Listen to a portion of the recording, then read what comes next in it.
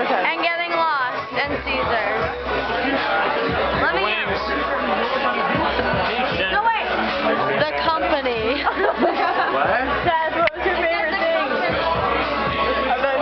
Meeting us, of course. Already met, met you before. yeah, you were. I don't remember You were a this. bitch to him. Besides Remember? that. The best part of the day is, oh, I know I was swimming, my eyes are watering. The best part of the day is that Tess left over last night. In the same bed. And that wasn't gay at all. My favorite part of the day was being able to spend some quality time